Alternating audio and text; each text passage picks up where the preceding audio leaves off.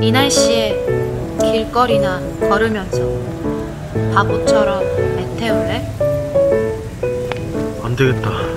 우리 쏘카 부르자. 인천에서 오게 돼? 쏘카 불러 월미도로 놀러 가서 편안하게 차 태울래?